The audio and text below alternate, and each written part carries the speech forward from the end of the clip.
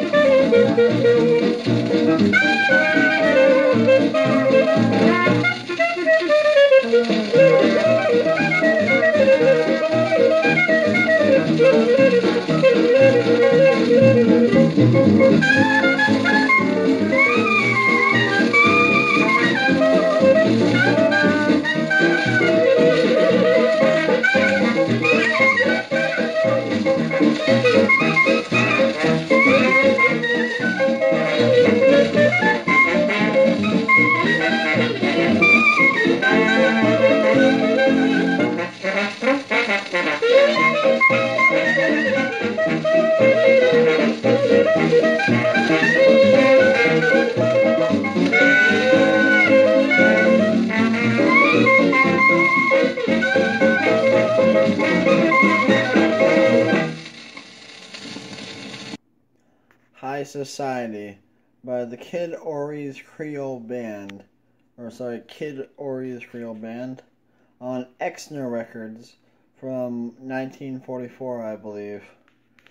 Yeah, this uh, this one uh, micro label Exner.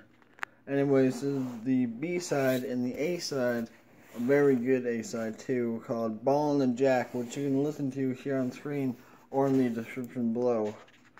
And yeah, this uh, this is a very special record to me for the reason which um, it inspired this video and series that you can check out here on the other corner of the screen for once.